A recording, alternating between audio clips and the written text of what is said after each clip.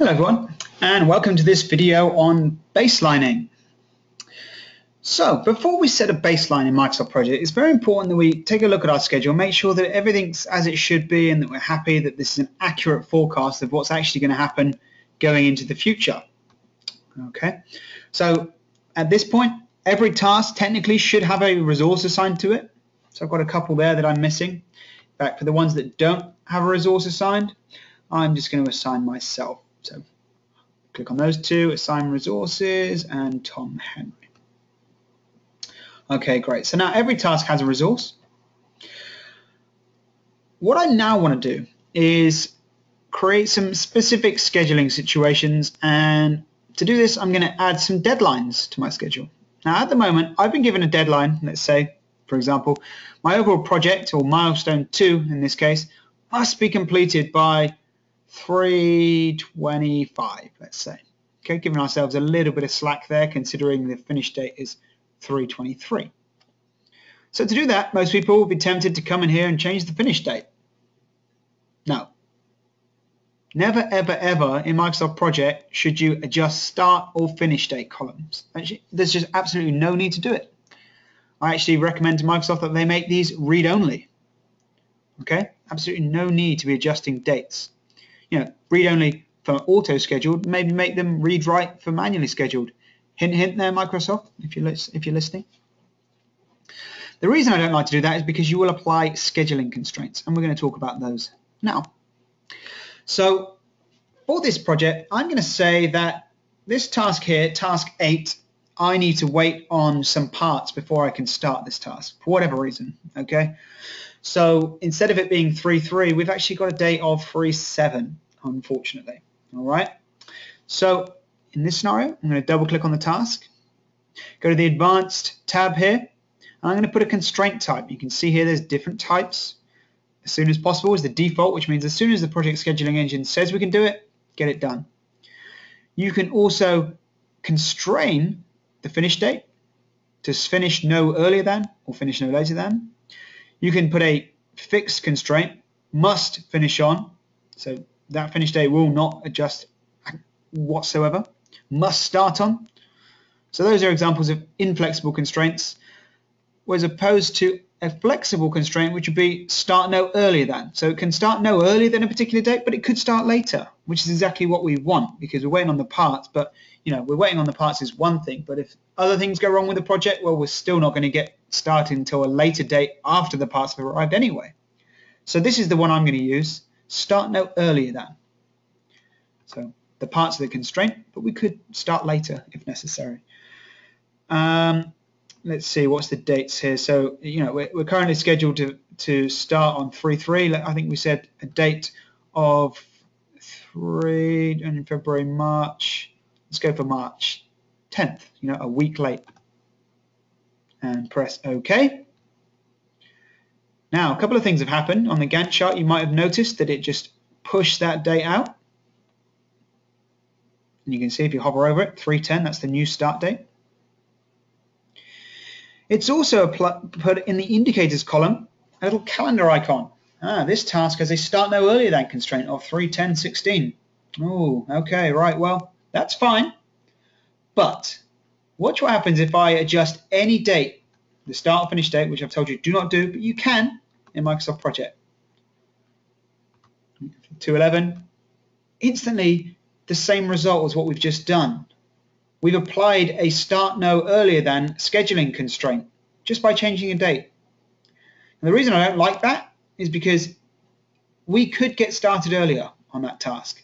Let's say the whole project is brought forward a month. Well, the parts we're still waiting on because that's been ordered and that we're waiting on, but this task could potentially start earlier than. So never, ever, ever in Microsoft Project, unless there's a true scenario, should you be applying scheduling constraints, either directly or indirectly.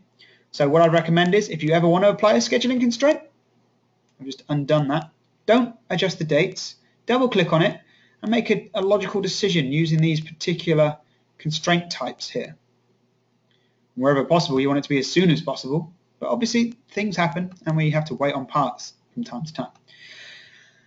One other thing, whenever I apply a scheduling constraint, as we've seen, it's very easy to accidentally do this. So what I like to do is add a note to document that extreme circumstance. So to do that, I double clicked on the task, which brought up the task information dialog. And as opposed to the advanced tab this time, we're going to go for the notes tab. Now it doesn't tell you who or a time and date stamp or anything in here. So I like to come in here and put my initials, space hyphen space, today's date uh, to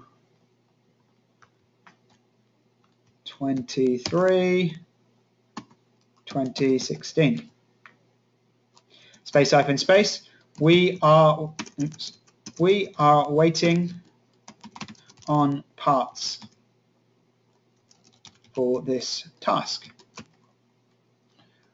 and I could elaborate more if I like there but that'll do for the purposes of this so now whenever you see a constraint on the Gantt chart sorry in the indicators column in the table if you hover over it, you'll see that constraint, but you'll also see a note documenting the reason for that constraint.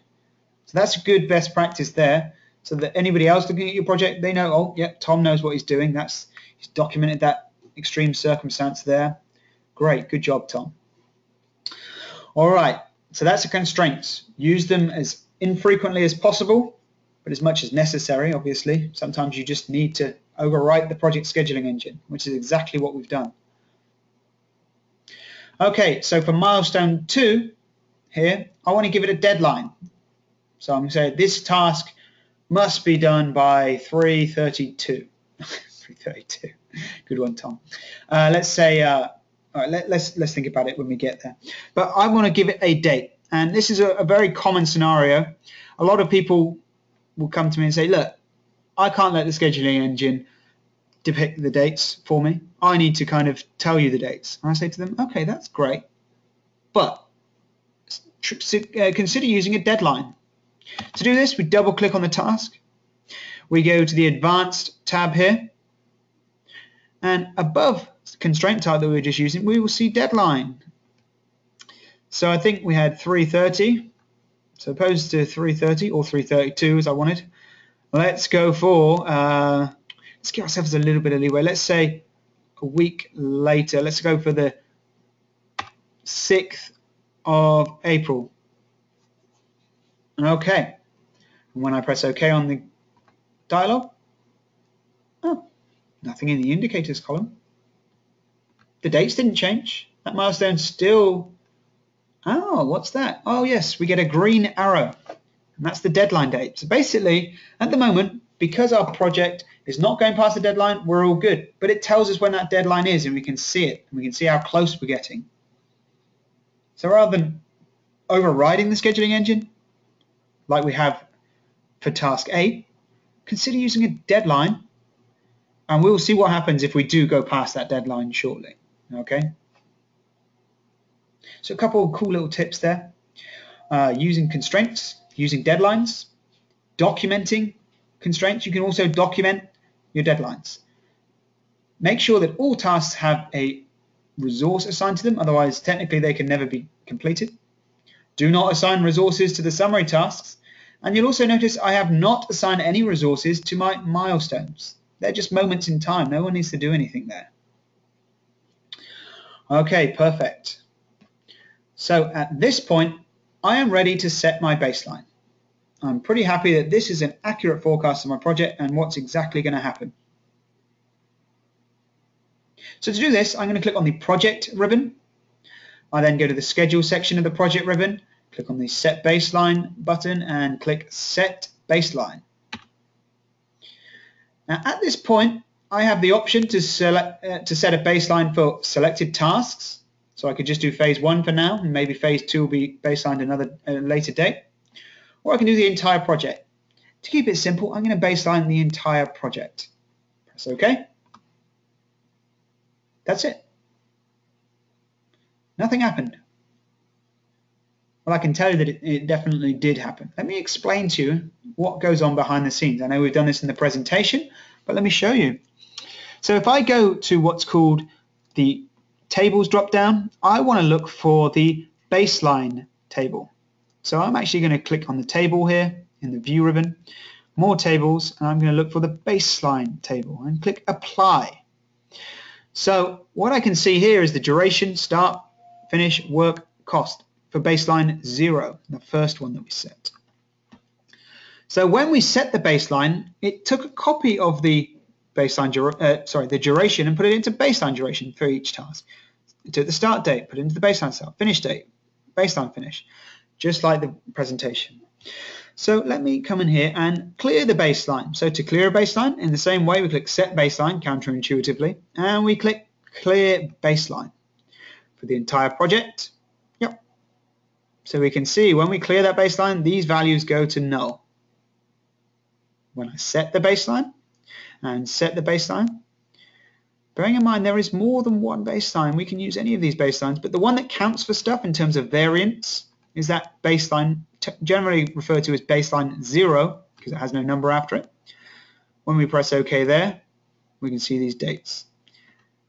Just for completeness here, I'm going to clear that again. When we set baseline 1, and press OK, nothing.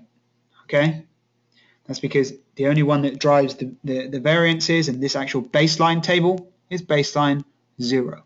You could have inserted baseline 1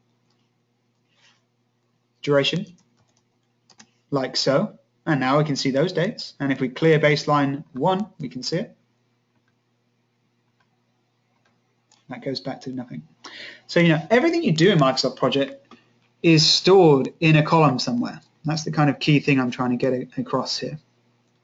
So I'm going to set the baseline again for the entire project by default, it's based on zero, so we can just say OK, and that's it. If you want to see that baseline, what I like to do is click on the Format ribbon and click on the Baseline drop-down in the Bar Styles section of the Format ribbon and click Baseline. Now we can see in the Gantt chart side by side, next to our tasks, the baseline underneath it. So this grey line represents the baseline, the blue line represents the task. Pretty cool. Let's leave that there and we can see how when, the, when we get started with the project, you know, things may slip from that baseline, heaven forbid. All right, that's it for baselining. Thank you very much for watching the video and please stay tuned.